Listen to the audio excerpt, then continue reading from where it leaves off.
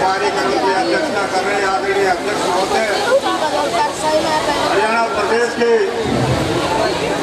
बहुत ईमानदार और भाजपा के बहुत पुराने चरणधार शिक्षा मंत्री आदरणीय रामविलास शर्मा जी, हमारे हल्के की विधायक आदरणीय बहन विमला चौधरी जी इस गाँव के सरपंच भाई रमेश जी एक्स सरपंच श्री गजराज सिंह जी एक्स सरपंच रमेश जी, हमारी शिक्षा विभाग से संबंधित डीओ साहिबा, शिक्षा विभाग संबंधित आदरणीय दूसरे शिक्षा के अधिकारी- अधिकारीगण और गाँव के आए हुए सभी सरदारों माताएँ बहनों और सारे बच्चों आप सबका यहाँ पर बहुत बहुत स्वागत।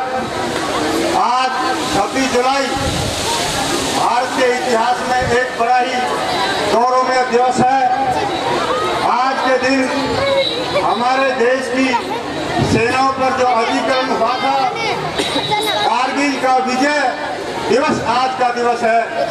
हमारे सैनिकों ने बलिदान देकर और देश की भूमि जो गलती से छीनी हमारी सेना ने उसका मुँह तोड़ जवाब देकर और अपनी ज़मीन आपको वापस दिलाई आदरणीय रामविलास जी बैठे हैं, शर्मा जी।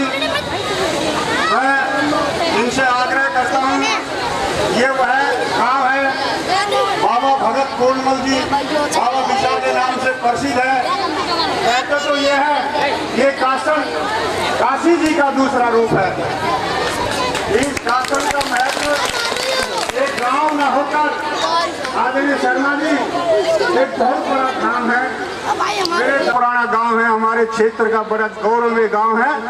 मेरी आदरणीय शर्मा जी से मांग है, मैडम जी से मांग है कि इस गाँव की जो मांग है, जो जायज़ मांग शायद शिक्षा से संबंधित या विकास से संबंधित है, आप उनको पूरा करेंगे।